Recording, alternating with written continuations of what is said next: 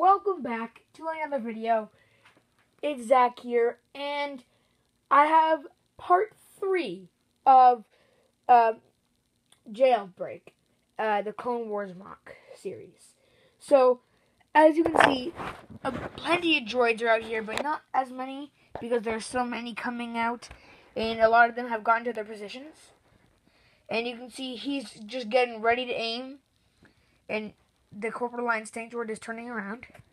And this Hailfire droid, Hailfire, the Hailfire droid has not yet noticed. So as you can see, these three, the three prisoners have just noticed. Well, someone came for us. What do you know? Um, so there's actually a dead clone trooper, but he's way in the back, and I'm guessing it's because of maybe him or him, because that would make the most sense.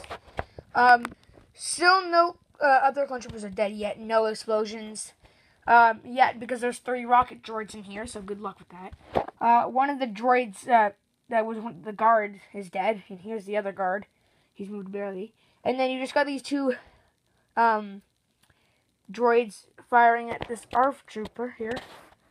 So yeah, other than that, not much has changed. Um, so yeah, with that being said, thanks for watching. Don't forget to rate, comment, like, subscribe. Bye.